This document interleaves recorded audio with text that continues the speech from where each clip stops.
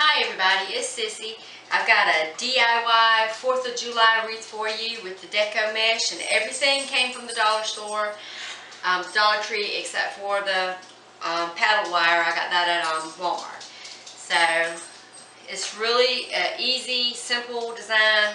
Um, I got my wreath form from the Dollar Tree and I'm going to use two rolls of the blue deco mesh, two of the white, and two of the red.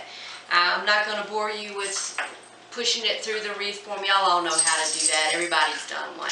But um, the wreath form's already divided into six sections, so I did two blue, and then I did um, red, white, red, white, alternating it. And um, made it nice and full. You could probably get away with doing one roll um, for two sections, but I wanted it kind of full, so I did one roll for each section. And I got it all put in there, and then this is what it looked like. Excuse me. So it's nice and fluffy. Then I took the um, this pretty little red, white, and blue spiral uh, garland from the Dollar Tree, and I just wrapped the section between each color and gave it a little twist to make it a curly cue.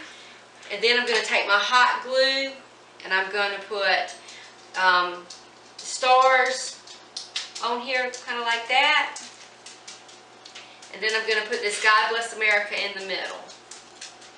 So I thought that was nice and simple and it'd be good for 4th of July. Um, I know this was real quick and not real detailed, but I hope y'all enjoyed it.